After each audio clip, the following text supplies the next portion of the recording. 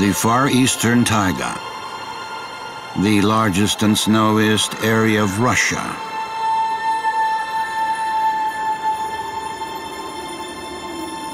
Its size delights and fascinates a person.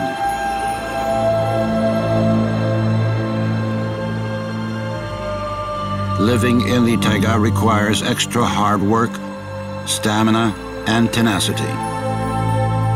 Still, despite the harsh environment, people build cities in the taiga. The cities that have symbolized the manhood and willpower of the pioneers.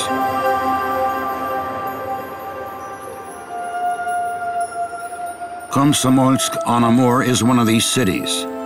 Here, the snow-covered taiga is shaken by the roar of the engines of fighters, taking off to the blue far eastern skies.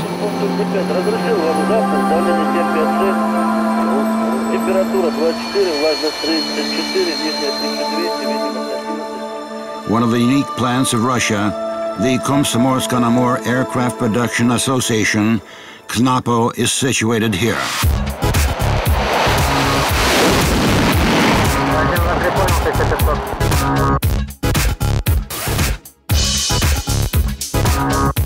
KnAAPO, the largest aircraft plant in Russia.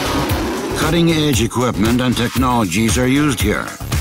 Currently, the aircraft manufacturer in Komsomolsk-on-Amur is participating in most ambitious and promising programs of the Russian aircraft industry.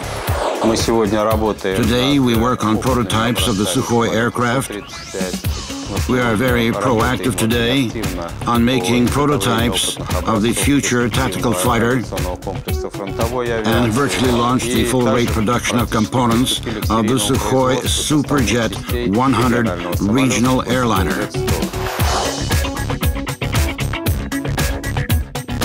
KnAAPO is an aircraft-making giant.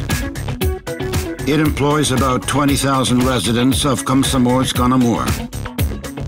Many of them are descendants of the aircraft makers who came to the Far East in the 1930s to make planes in the taiga.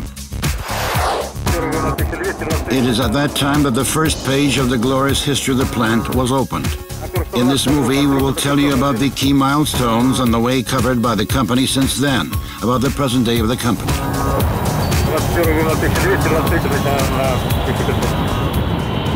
Один, два, три, понял, 1500.